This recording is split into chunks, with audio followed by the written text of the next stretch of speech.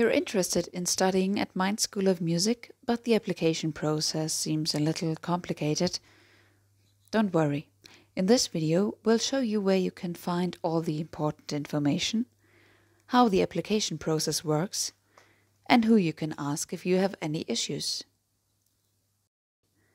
The first thing you need to know is, what do I want to study? On the website for the School of Music, you'll find detailed information on all the different study programs as well as the requirements for the aptitude test. Here's how you get there. Go to Study Options. There you'll find an overview of all the study programs we offer and you can pick the program you're interested in. For example, voice. On this page, you'll see an overview of the study program as well as the requirements for the aptitude test.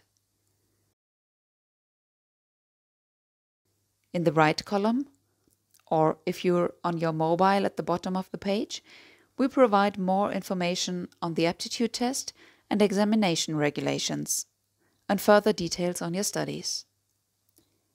Here, you'll also find the contact information for the Student Advisory Office and the Director of the Division.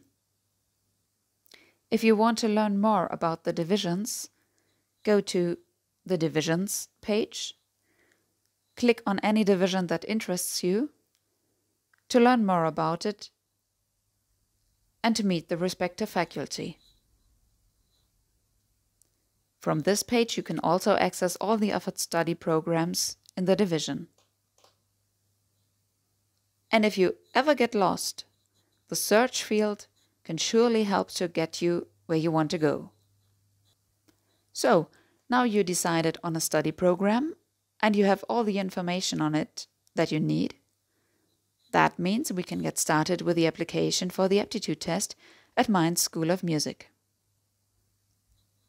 Go to Application and you'll find all the deadlines you need to be aware of. Please have a close look at these because there are different deadlines. For the recognition of foreign certificates and diplomas, for the application at the School of Music, and for the application for enrollment at the university. Wait a second, do I need that too? Yes, Mainz School of Music is part of Johannes Gutenberg University. Therefore, you have to apply to both places. So please don't forget the second application. On this page, we walk you through the application process step by step.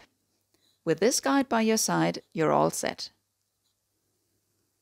All students with foreign certificates or diplomas have to submit these documents for recognition first. Please make sure to do this in time. Once you're done with that, or if it didn't apply to you in the first place, you can move on to the application for the aptitude test. On this page, you'll find the registration forms for each study program. Okay, what should you do with these? Pick out the form for your study program and save it to your device. Then you can edit it with the free software Adobe Reader DC. When you're finished, send the filled out form as well as the other application documents to this email address. If you have any questions, check out our FAQ on the application and aptitude test procedures. And if that doesn't answer your questions, our student advising office is more than happy to help. This is what our application forms look like.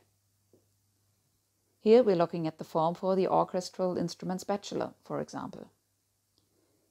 If you opened it with Adobe Reader, you can simply tick the boxes and type into the text fields.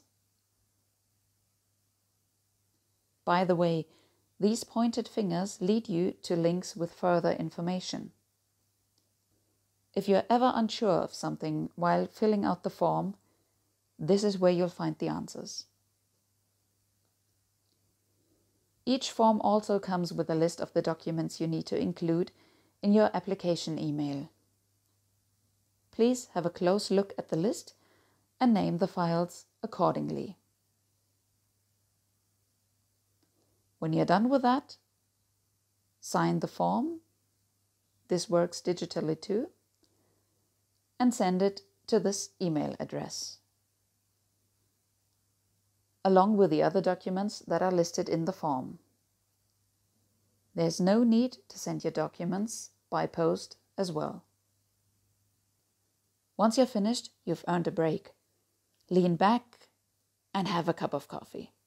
Oh, that's right, you're a musician, so you're probably saving the coffee for later and would rather play your instrument now.